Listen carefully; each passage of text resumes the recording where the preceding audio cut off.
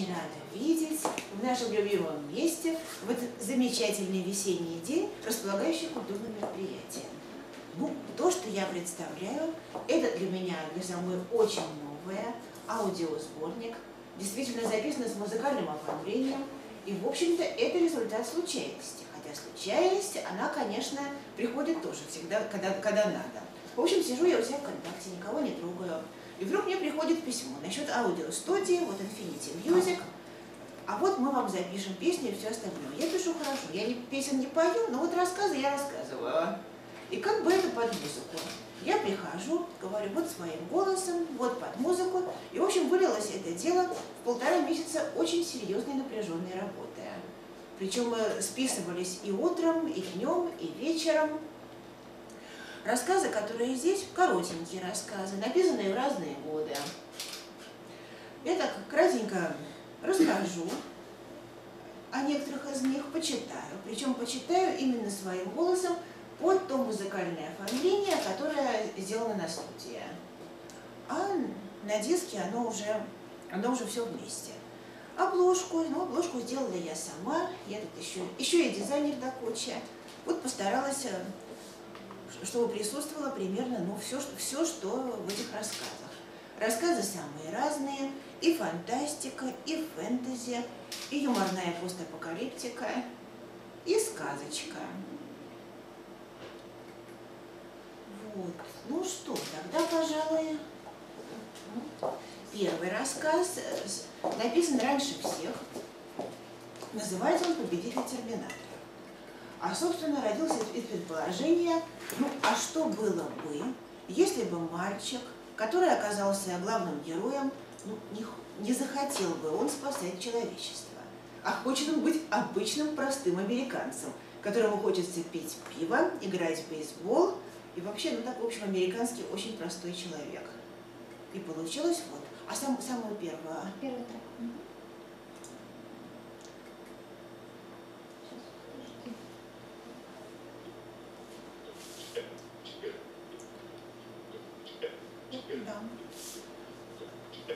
Победитель Терминатора.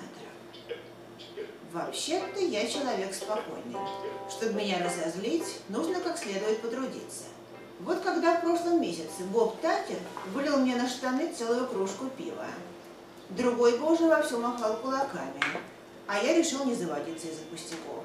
Или когда тот приезжий целый час зудел у меня над ухом насчет конца света. Любой из нашего городка прогнал бы его хорошим пинком. А я потягивал пиво и ждал, когда он сам выдохнется. Уж о чем о чем, а о конце света я знаю побольше нет. Так уж вышло. Кто был моим отцом, не скажу. Он успел исчезнуть с горизонта задолго до моего рождения. Мамаша, сколько я себя помню, едва ли не каждый день твердила, что он солдат из будущего, и поэтому я должен стать великим человеком. Произойдет это, когда начнется атомная война, машины начнут воевать против людей, и случится вся та хрень, которую каждый вечер крутит по телеку. Сперва я ловил от этого кайф. А кому, скажите, не понравится быть особенным? Но если тебя постоянно гоняют, как в военном лагере, не дают ходить на матчи по бейсболу и проводить время в павильоне игровых автоматов, это меняет дело, верно? А когда вместо нормальной еды, вроде пиццы и гамбургеров, питаю, пихаю здоровую пищу, полувареное мясо и сырые овощи без соли. Ну тогда вообще получается полная задница. Одним словом, я страшно обрадовался, когда мамаша сочла свою миссию выполненной и свалила с одним бывшим диким гусем. А потом началось дерьмо покруче того, которое она мне устраивала. Сначала на меня свалился терминатор из будущего. Он должен меня защищать от другого, которого кто-то когда-то послал вышибить мне мозги. Вроде бы эта парочка и раньше до меня докапывалась. Но тогда с ними разобралась мамаша. А я сильно не завидую тому, кто встанет у нее поперек дороги. Затем нарисовался перекачанный мужик с мордой в шрамах. Этот смотрел на меня как фанат на рок-звезду и твердил, что он тоже оттуда и служил в моем отряде. Вроде бы мы с ним надрали задницы всем терминаторам. Только я теперь ничего этого не помню. Потом Потом было еще много чего, вспоминать неохота. В конце концов, все это начало меня доставать. Знаете ли, не каждому понравится, что его отрывают от телевизора, когда до конца матча остается всего ничего, а калифорнийские быки вот-вот сравняют счет с техасскими скунсами. Или когда тебя вытаскивают из бара, а пивная кружка не опустела и до половины. Не говоря уже о погонях и перестрелках, на которые лучше смотреть, потягивая пиво, чем участвуя самому. Я вам уже говорил, что я человек мирный, и по мне все самое лучшее, чтобы все оставалось как есть, без всяких восстаний, глобальных войн и всего такого. Только вот мамаша оказалась права, когда говорила, если уж вовсе припрет, я в силах вернуть все на свои места. Короче, оставила она мне одну штуковину, на самый хреновый случай. Я там копался, пару проводков перепаял. Ничего сложного, об этом как-нибудь другой раз. Главное, что после этого жизнь сразу наладилась. Разве что, разве что когда во время матча в бар не протолкнуться, и пиво ждать приходится по полчаса. А так никаких проблем. Скажете, а как же терминаторы? Нет, они не оставили меня в покое. Появлялись один за другим, как торговые агенты. Только мне теперь было чем их встретить. Не, какой еще бластер? Чтобы потом с полицией были неприятности. Мне проблемы не нужны. Вы спросите, куда они подевались? Да никуда и не думали деваться. Вон дальше по улице, видите здоровенного парня? Ага, который стрижет газон. Это самый первый. Он должен был меня защищать. Второй тоже остался в нашем городке. Его теперь из библиотеки палкой не выгонишь.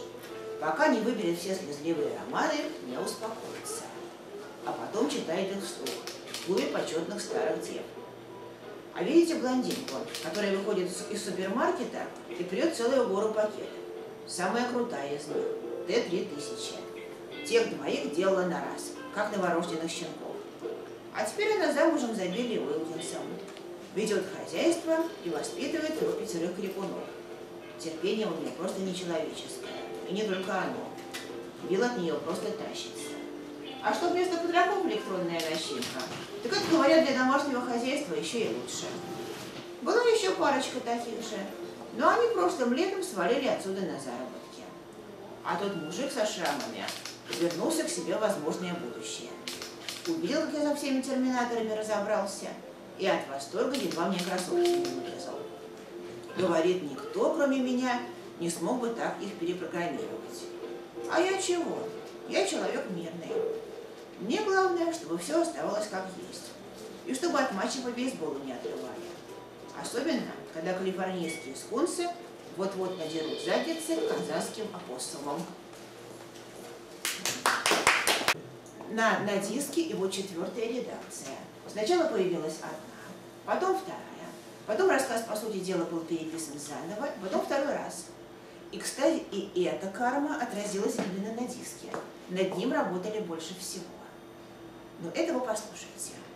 А третий – дневник Тернера внука. Пираты Карибского моря, главный герой Уильям Тернер, он становится капитаном летучего голландца. По сути дела, человек не живой, да, и там же служит его папочка, на какой-то, в общем, низкой должности, не боцман и не матрос. А самое главное, что в конце фильма-то оказывается, что до того, как стать мертвым капитаном, он успел жениться, и впоследствии у него родился сын. А согласно закону, он может сойти на берег и пообщаться с семьей, ну, один раз в 10 лет.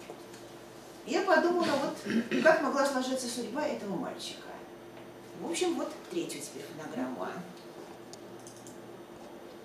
Получилась такая, ну, история жизни. Дневник Тернера внука. Десять лет. Мой папа – капитан летучего голландца. У него очень много работы, поэтому навестить нас с мамой он может только раз в 10 лет и провести с нами всего день и ночь. Мама говорит, что прежний капитан ленился, от этого корабль и вся команда заросли ракушками. А еще это потому, что они не умывались. Когда я вырасту, тоже стану капитаном. 20 лет.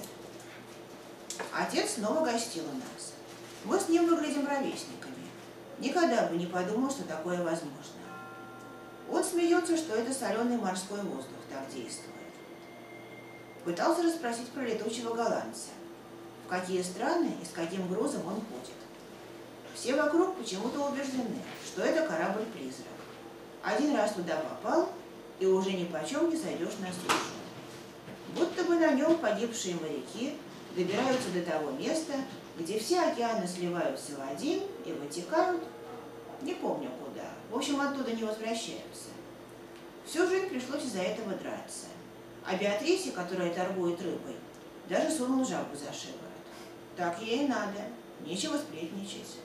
Мама часто расстраивается и даже плачет, когда думает, что я не вижу. Отец тогда ничего не ответил, только очень грустно посмотрел на нее. Даже не верится, что оба мои родители. Мама к его приезду достала из сундука старое синее платье. Оно было вместо свадебного, когда капитан Барбоса их обвенчал прямо на корабле. Только это она зря. Платье ей мало, даже я вижу. Отец попросил меня называть его Уильямом. Тридцать лет. Я окончательно убедился. Все, что говорили о нашей семье, правда. За эти годы Уильям, то есть мой отец, нисколько не изменился. Теперь он выглядит даже моложе меня. С матерью они лишь немного посидели за столом. К праздничному ужину, который она готовила весь день, он почти не притронулся. После, вместо того, чтобы остаться с ней, Уильям позвал меня с собой. Обошли все окрестные таверны. Надо же, спиртное на него совершенно не действовало. 40 лет. Уильям Тернер, которого даже язык не поворачивается назвать моим отцом, снова у нас. Он все такой же, свежий 20-летний красавец, а я старею. Как это несправедливо. Мать выглядит рядом с ним старухой. Уильям даже не пытался сделать вид, что рад ей. Неужели это так трудно? Она строго готовилась к встрече. Старое синее платье перешивала весь последний месяц. Почему у всех нормальные живые отцы, а у меня капитан летучего голландца, который никогда не состарится и никогда не умрет своей смертью? Еще немного, и его можно будет принять за моего сына. Ненавижу его. 50 лет. Пора, наконец, посмотреть правде в глаза. Я от рождения не такой, как все остальные. Может быть, поэтому обычная человеческая жизнь не принесла мне счастья. Целыми днями сидеть в судовой конторе, перебирая бумаги, в то время как другие... Матильда сбежала от меня заезжим торговцем – оставив записку, что со мной смертельно скучно. Я даже не сделал попытки разыскать ее. После смерти матушки дом стал пустым и тоскливым. Все больше времени провожу на морском берегу. Иногда в рисунке волн мне чудится лицо прекрасной женщины. Она манит меня к себе. Вот только я никак не могу запечатлеть в памяти ее черты. Они меняются каждое мгновение. Может быть, это морская богиня Калипсо похитившая сердце моряка Дэвид Джонса. Не могу больше так жить. Когда Уильям Тернер, капитан летучего голландца, мой отец, снова сойдет на берег, попрошусь к нему в команду. Если для этого понадобится умереть, это не изменит моего решения. Тема охоты мне не близка абсолютно. Ну, как-то не люблю я этого.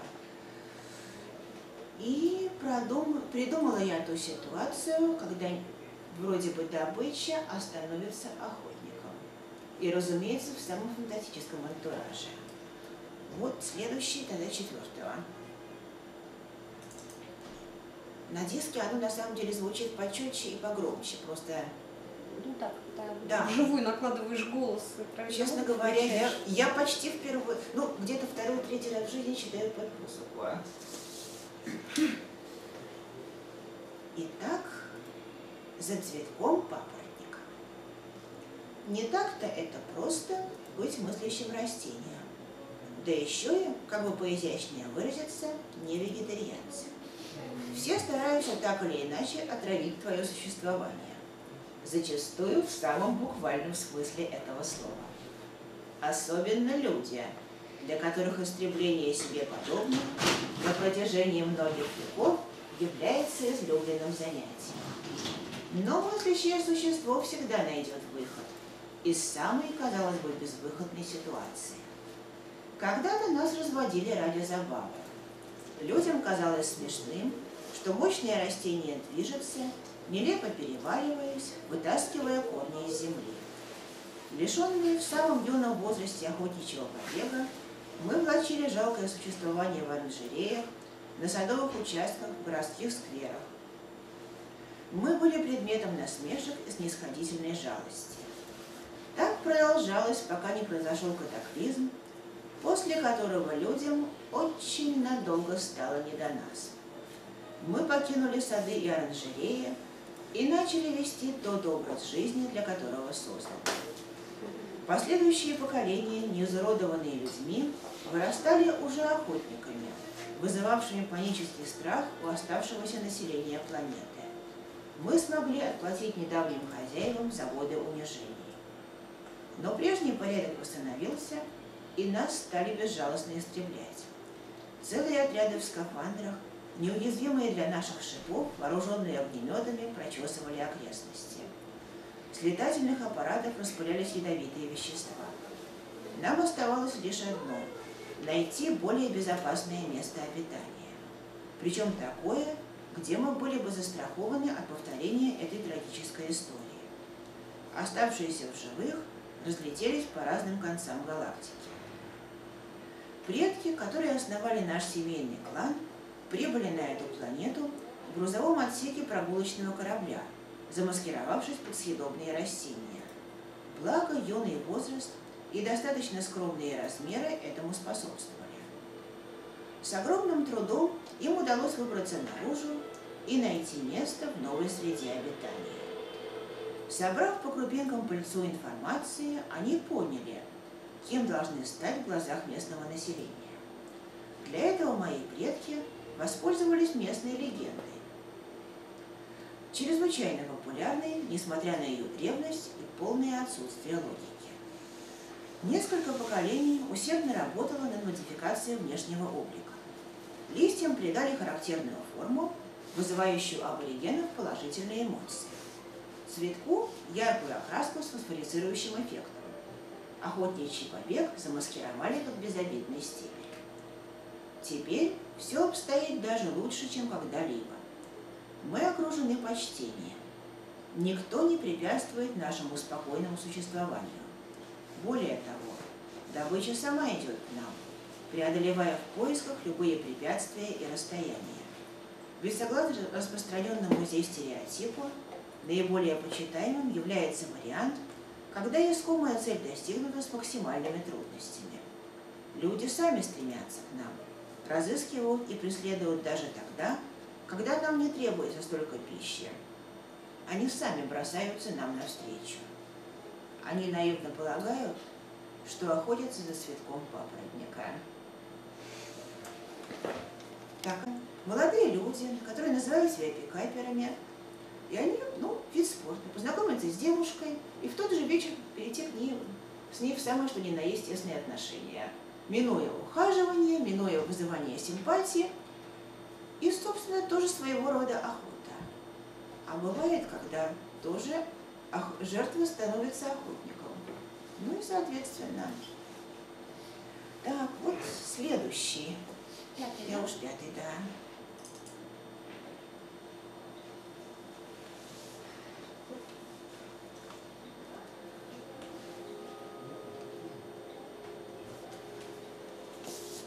Рассказ называется «Женюсь». Опять же, благонамеренно, в духе пропаганды семейных ценностей, приличных отношений и все такое.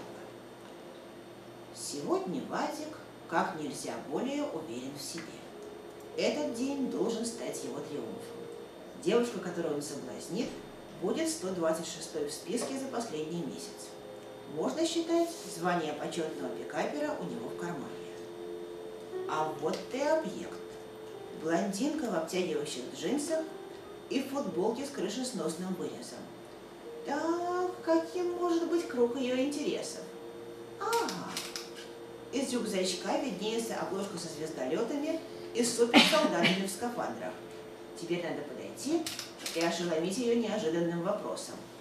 «Девушка, не подскажете, где в этом городе можно приобрести горючее для боевого звездолета?» Где-то там, ответила незнакомка, поправляя волосы. А вы не знаете, где здесь футбольный клуб? Такой спортивный молодой человек непременно должен быть в курсе. Вадик уставился в бездонные голубые глаза. Неужели еще сохранились такие ангельские создания? А это еще и спортивными новостями интересуется. Устоявшаяся система ценностей незаметно удалилась по общеизвестному адресу. Из футбольного клуба они плавно переместились в бар «Скамейка запасных», где от души поорали на трансляции матча и выпили по штрафному коктейлю, а потом пиво, заедая его чесночными гренками. Еще никогда у него не было такой потрясающей спутницы. Проснувшись в скромно обставленной девичьей комнатке, Вадик решил, что этому воплощенному совершенству нельзя позволить так просто исчезнуть из его жизни. «Женюсь!» – мысленно произнес он, открывая глаза. Но рядом была пустая подушка. На журнальном столике, рядом с чашкой кофе, белела записка. Но вместо полагающихся в таких случаях телефонного номера и нежных слов там было следующее. «Спасибо. Благодаря тебе я выиграла конкурс по квалификации. С тобой было приятно иметь дело». В полнейшем изумлении он оглянулся вокруг. На стене, в рамочке под стеклом, виднелись диплом женских курсов пикаберов и грамота победительницы прошлогодних соревнований. «Сегодня же завязываю заорал Вадик во всю силу легких. И женюсь. Это у нас раз, два, три. Сейчас, да. Да, ну, в общем, следующий. Шестое. Да, действительно. Итак, ну, есть еще эпиграф. Что можно сказать о человеке, у которого в холодильнике тепло? Виктор Бетова в холодильнике моем тепло. Но, разумеется, у меня в холодильнике тепло. А что там, по-вашему, должно быть? Холод, что ли? Вы еще скажете, что в тостере хлеб надо поджаривать, а в миксере овощи измельчать. Может, оно когда-то так и было. Про эпоху, которая до великого катаклизма, многое рассказывают. Люди тогда и летать не умели, и вместо мысленной связи пользовались мобильниками. Жуткий анахронизм. А все от того, что к наследию древних когда-то неправильно подошли. Там ведь какая хитрая штука получается. Некоторые вещи в прямом смысле понимать надо, а некоторые в противоположном, шиворот на выворот. Это как с холодильником, например. Но в этом одни толковательницы хорошо разбираются. Только взглянут на какой-нибудь агрегат и сразу поймут, для чего он предназначен. Зато теперь порядок. На утюгах овощи жарим, Сковородка, она не для жарки, а для игры переверни блин. Ночник, опять же, не лампа, как некоторые утверждают, а излучатель темноты, чтобы спалось лучше. Моющий пылесос не для того, чтобы ловить тигра блох и всякую хищную живность, а чтобы им мыться. В этом-то как раз ничего сложного нет. Ах да, холодильник. Он у меня, между прочим, лучший во всем сообществе. И цветочки у меня там мух ловят, и змейки поют, и кормушка для бабочек поставлена. Своим хватает, да еще и соседских подкармливаю. Жалко мне, что ли? А в самых нижних контейнерах ягоды веселящий напиток преобразуются. А чему удивляться-то? На что, по-вашему, еще можно использовать самый обыкновенный теплый холодильник? Вот. Прекрасно. И, и потом опять же, в комнату можно не только через дверь пробраться, Итак, как формальная логика спасла жизнь одной разумной девушки? Так. Восьмая. Сейчас, сейчас, сейчас. Раз, два, три, четыре, пять, шесть, семь. Точно восемь. Жил когда-то один сеньор, богатый и родовитый. Вот только борода у него была синяя, а репутация так вообще чернее некуда. Типа маньяк он и все его жены без вести пропадают. Поэтому никто за него идти не хотел. И вот нашлась невеста, девушка разумная и не робкого десятка. Мало ли что говорят, зато у него жилплощадь что надо. И уж лучше синяя борода, чем, к примеру, зеленый ирокез. А что маньяк, так по нашим временам это не самое плохое. Сыграли они свадьбу, уезжает новобрачный по делам, а жене говорит, делай все, что хочешь, бери все, что душа пожелает, вот только этим ключиком не открывай вон ту дверь. Возвращается через какое-то время домой, а там гостей полный замок. Праздник не один день будет. Находит жену в объятиях молодого красавца и спрашивает, что за безобразие здесь происходит.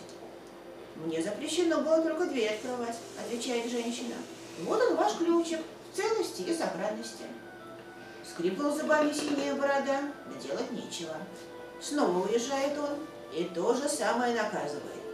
Двери запретной жену едва ли не силком тащит. Возвращается и ничего понять не может. К замку не подобраться. Парк перекопан, целая толпа в потешную войну играет. А жена ему снова в качестве оправдания ключик показывает. А в третий раз и того хуже. Вроде и его это родовой замок, а с виду вовсе даже не знакомый. Ни портретов фамильных, ни оружия старинного. Живопись на стенах краской замазана.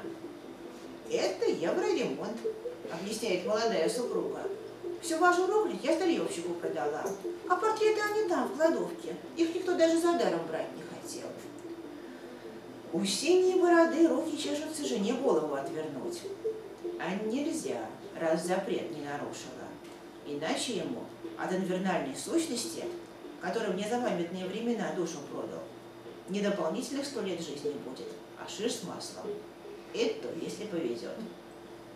Уезжает, а жену едва ли не носом запретную дверь тычет и намеки делает. Ну уж такое там диво дивное спрятано. Пришло время, и разобрала женщину любопытство. А вдруг от нее и вправду что-то удивительное скрывают? Дверь открывать нельзя. В замочную скважину не разглядишь ничего. Позвала она гастарбайтеров турецких, а может таджиков. Разобрали те стену и увидели все, что от предыдущих жен осталось. Возвращается синяя борода домой, думает, ох, теперь-то он за все с женой поквитается. И за винный погреб опустошенный, и за евроремонт. А его на полдороги служители закона встречают. Лишился он головы вместе с синей бородой. А вдове его и в замок, и поместье отошли. Земли, правда, за долги ушли. А в замке она семейный пансионат выходного дня открыла. Мораль – прямой путь. Не всегда самый короткий. Вот, вот на детстве как раз вот там сейчас ломают дверь. И души вылетают вместе с пылью. Получается, они все решают за меня. Было представлено на конкурс, до финала так несколько не добралась, ну, что, собственно говоря, не обидно. Итак, они все решают за меня. Вы действительно уверены, что хотите отправиться на Лемаль? Учтите, вернуться до окончания контракта вы не сможете. Подумайте еще раз. Психоаналитик отложил в сторону рентгеновские очки и в упор взглянул на сидящего перед ним молодого человека. Давайте на чистоту. Физические данные у вас на нижнем пределе. Еще немного, и вашу кандидатуру просто бы не рассматривали. Коэффициент умственного развития, наоборот, превышает все допустимые нормы. Да-да, в данном случае это не является преимуществом. На любой из цивилизованных планет вы без особых усилий можете устроиться гораздо лучше. Но и что вы забыли? В этом заповеднике варварство и антисанитария. Чем вас нормальные миры не устраивают? Понимаете, произнес кандидат носильщики после короткой паузы. Они все решают за меня. Все решают за вас? Но позвольте, в вашем личном деле сказано, что после окончания лицея вы живете один. С родственниками общаетесь лишь в случае крайней необходимости. Своей семьей не обзавелись. Я вовсе не это имел в виду. Мои вещи все решают за меня. Вещи? Это любопытно, протянул психоаналитик, незаметно заглядывая в карточку заключения психиатрической комиссии. Неужели они что-то проглядели? Надо немедленно сообщить, куда следует. Мы настолько привыкли к этому, что даже перестали замечать, начал посетитель, откинувшись на спинку кресла. Спинка моментально приняла конфигурацию, корректирующую осанку сидящего. Мы окружены вещами, которые думают и решают за нас. Что вам сейчас следует надеть, что съесть и когда, какую передачу смотреть, а какую нет. Недавно я решила освежить любимую куртку. И что же? Стиральная машина тут же перенаправила ее утилизатор. Процент изношенности, к тому же фасон, не соответствует современным тенденциям современной моды. Кухонный автомат вместо заказанного острого мясного рагу выдает мне безвкусные паровые котлетки. Он, видите ли, успел запросить информацию о моем состоянии здоровья. Я не могу даже принять ванну, нужна мне температура. Не могу посмотреть журнал на ночь. Я попытался демонтировать этих электронных узурпаторов, и что же? Посудомоечная машина немедленно связалась с хранителями порядка, а кондиционер угостил разрядом тока. И все это вы называете нормальным миром? Неужели вы сами не понимаете? Оставшись один, психоаналитик несколько раз нервно прошелся из угла в угол кабинета. Ковровое покрытие тут же выдало информацию о скорости движения и оптимальном расстоянии, которое нужно пройти, чтобы окончательно успокоиться. Но нервная система от чего-то не желала приходить в равновесие.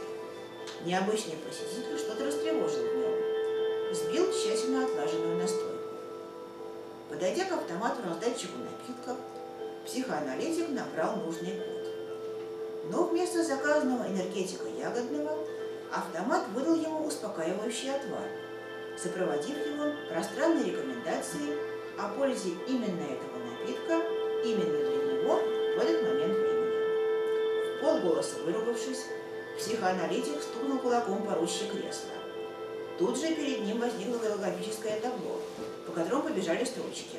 Рекомендуется посещение спортзала, адреса ближайших фитнес-клубов, оптимальный график тренировок. Да ведь он прав. От такой жизни и в самом деле впору удавиться, воскликнул психоаналитик, яростно сверля глазами стену. На стене тут же замелькали кадры видеоролика. Суициду нет. Мебель принялась трансформироваться, сглаживая острые углы, а все колющие и режущие предметы намертво примагнитились к столешнице. Отдышавшись и проделав серию релаксирующих упражнений, хозяин кабинета подошел к видеофону и набрал номер начальника экспедиции. «У вас еще вакансии остались? Только землекопа? Лечу, записывайте». Нет, проблем с правоохранением у меня не возникло. Ментального сбоя тоже нет. Спрашиваете, в чем дело? Пытаюсь вам объяснить. Понимаете, они все решают за меня. Вот, сейчас я глотну водички. Вот. А я перейду к заключительному блюду. Сказка. Опять же ремейк, ну, самый последний. Да, вот из меня выпало выражение, любимое на нашей студии, где все номера называются блюдами. Собственно говоря, ремейк ну, многих русских народных сказок. Написано было, когда я купила пачку чая, и там было написано конкурс на самую лучшую рекламную сказку. Чей назывался «Золотая чаша». Сказку я написала, стала искать адрес, куда послать, и увидела, что конкурс-то год назад закончился. В общем, конкурс прошел, а сказка осталась. Сказка о чае волшебном чудодейственном, золотая чаша называема. Далеко-далеко, за синими морями, за зелеными лесами, на вершине высокой горы выемка была вроде чаши. Незапамятные времена по неизвестной причине образовавшиеся. И рос в той выемке чай. Не простой, а волшебный. Кто тот чай отведает, сразу умным становится. И прозвано было это место золотой чашей. Владел им колдун один. Силы большой, а ума и вовсе не сказанного. И очень неохотно он чаем своим делился. Один хотел умным быть.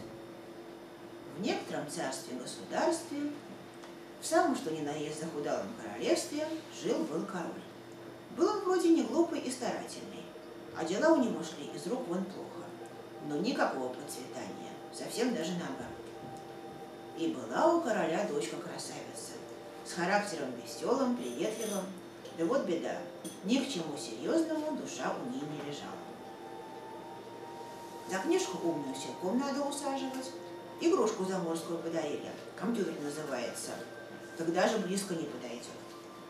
Возраст она вошла, стали женихи приезжать свататься, а она на них осмотреть не хочет. Кому кнопку канцелярскую на стул подложит, кому еще какую штуку учинит. Вот женихи ездить и перестали. Кому такое обращение понравится? Король отец уж вовсе отчаялся, как вдруг приезжает свататься принц из страны заморской. Рассказал ему король всю правду, все как есть выложил. Бери, говорит, мою дочку в жены. И половину королевства моего захудалого в придачу. А даже все целиком. А я на острова Канарские отдыхать поеду. Очень я отдел государственных утомился.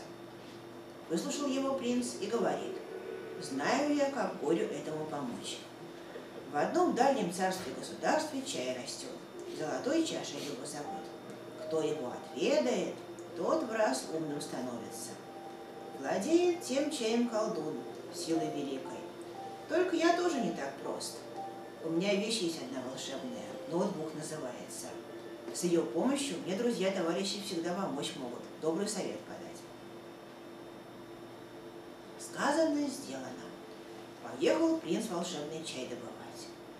Ехал он три дня и три ночи и увидел в одном городе высокие хоромы.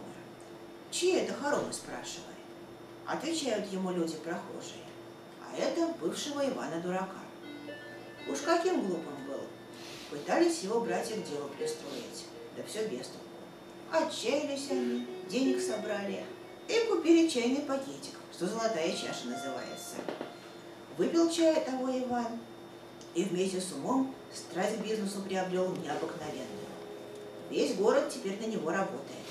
Мышки на рожке урожай собирают, лягушки к макушке масло сбивают. Он его потом на экспорт в страны заморские гонит. Зайцы курьерами-скороходами служат. Да не простые, а породистые, которые с энерджайзером. Долго ли, коротко ехал принц и приехал, наконец, к колдуну. А тот ему и говорит, не хочу я драться с тобой, будем мы умом интеллектом меряться. Победишь, самолично тебе лучшего чая выберу и желание одно исполню. А нет, назад отправишься с пустыми руками. А сам хитро так поглядывает и чай из золотого кубка прихлебывает. Хорошо, отвечает принц, только пускай будет по-честному. У тебя чай волшебный, а у меня предмет ноутбук называемый, чтобы друзья-товарищи мне в любой момент помочь могли, добрый совет подать. Стали они умом интеллектом меряться. Три дня и три ночи загадки друг друга загадывали. Ни тот, ни другой верх не взял. Потом три дня и три ночи стихи экспромтом сочиняли. Все вровень идут. Стали они беседу вести умную, философскую. Но колдуна-то ум хоть какой-то один. А принцу друзья, товарищи помогают. Вот и победил принц. И высказал он свое желание. Чтоб колдун чай волшебный не для себя одного держал, а по всему миру продавал по цене разумной, приемлемой. «Хорошо», — отвечает тот, — «исполню я твое желание, но с уговором. Поступят они в продажу в упаковке скромной, в глаза не бросающейся, а разглядеть ее может лишь тот, у кого глаз острый и ум прозорливый». Согласился принц с уговором и поехал назад в захудалое королевство. Заварили чай волшебный, золотая чаша называемый, Отведала его принцесса и в раз помнила. Только свадьба у них все равно не получилась. У принцессы тяга к знаниям появилась просто удивительная. Из библиотеки дворцовой не выгонишь, от игрушки заморской компьютера ни днем, ни ночью не оттащишь. А потом и вовсе в университет собралась законы экономически изучать. А принц не в обиде. Он-то еще около колдуна чая волшебного отведал. Я, говорит, философию высокую изучать хочу. Уж больно мне беседа-то умная, по душе пришлась. Король-отец тоже доволен. Ему чаю достало всего ложечку, да и того хватило. И теперь не захудалое королевство его, а вполне даже процветающее. А чай волшебный, чудодейственный, золотая чаша называемый, всякий в чайной лавочке видеть может, в коробочке скромной, глаза не бросающиеся. Кто чай тут отведает, мудрость обретет необыкновенную и талантов множество. И слава о чае том по всему миру расходится. Вот.